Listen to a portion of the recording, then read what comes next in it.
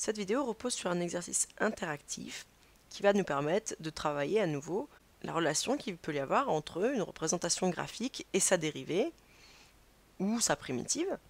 pour commencer, on a ici représenté en vert la fonction f de x. Et il faut déplacer cet élément violet pour que la courbe tracée en violet puisse représenter une primitive de la fonction en vert. C'est-à-dire que si la fonction violette est une primitive de la fonction verte, la fonction verte, elle, doit être la dérivée de la fonction violette. Donc sur quel intervalle la fonction verte représente la dérivée de la courbe violette? On peut commencer par l'observation de ce qui se passe au niveau de cette courbe violette. Cette courbe violette, elle est caractérisée tout d'abord par une pente constante décroissante, puis une pente constante elle aussi croissante, ce qui correspond au niveau d'une dérivée à une valeur constante négative, puis à une valeur constante positive. Qu'est-ce qu'on a comme portion qui peut correspondre à ça? Cette partie de la courbe verte est certes négative, mais elle n'est pas constante. Ce sont des valeurs de plus en plus négatives, donc ça ne peut pas correspondre. Ici, on a une partie constante, mais positive, donc ça ne correspond pas non plus.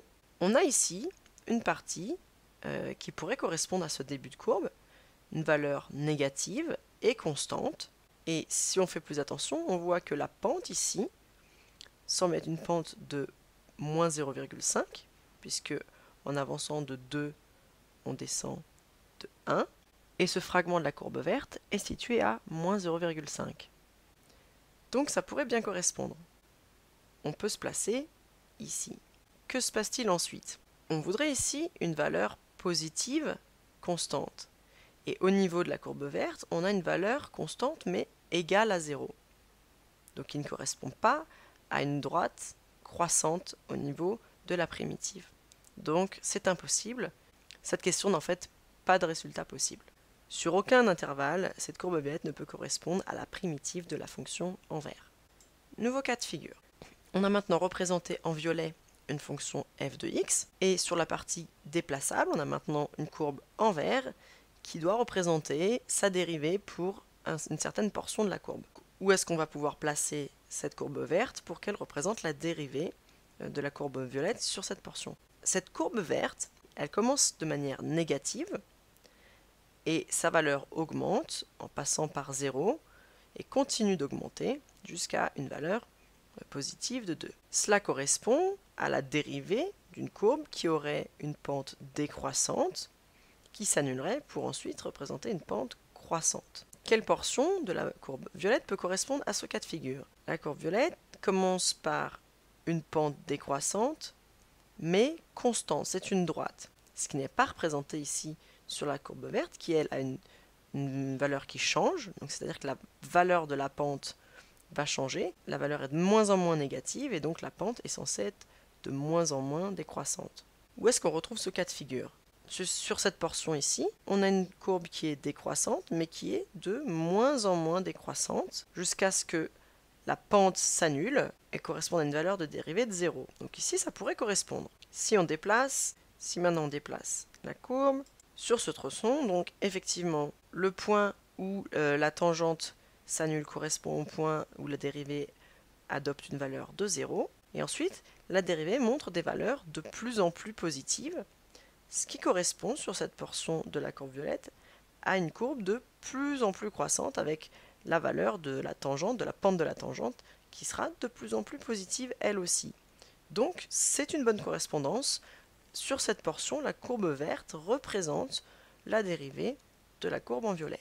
Nouveau cas de figure. On se retrouve avec le cas de figure où la courbe tracée en vert est la fonction f de x et on a sur la partie déplaçable la courbe violette qui peut être une primitive de cette fonction f de x. C'est-à-dire que sur la fonction représentée ici en vert, une portion, un des segments, doit représenter la dérivée de la fonction représentée en violet. Donc on procède toujours de la même manière, par élimination, en essayant de faire correspondre les propriétés de la courbe violette avec les propriétés de la courbe verte. Qu'est-ce qu'on a? On a une pente décroissante et constante, donc on veut une dérivée qui a une valeur négative constante.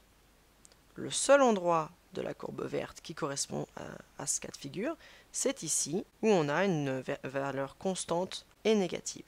De plus, ici la pente est une pente de moins 1 et ça correspond ici à la valeur moins 1.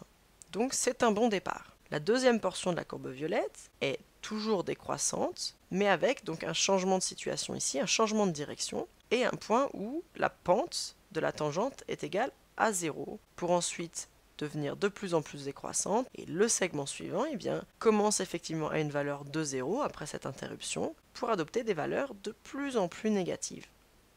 Donc c'est une bonne correspondance. On peut placer la courbe à cet endroit-là et vraiment observer que à cette pente décroissante constante correspond une dérivée de valeur constante et négative. Et à cette portion euh, qui commence avec une pente de 0 et qui adopte une, pente de plus en plus décroissante correspond cette portion avec des valeurs de plus en plus négatives. On a une bonne correspondance sur cet intervalle. La courbe violette représente une primitive de la fonction euh, représentée en vert. Voilà, c'est le type d'exercice typique où on utilise les propriétés d'une des représentations pour faire le lien avec l'autre, soit euh, en tant que dérivée, soit en tant que primitive.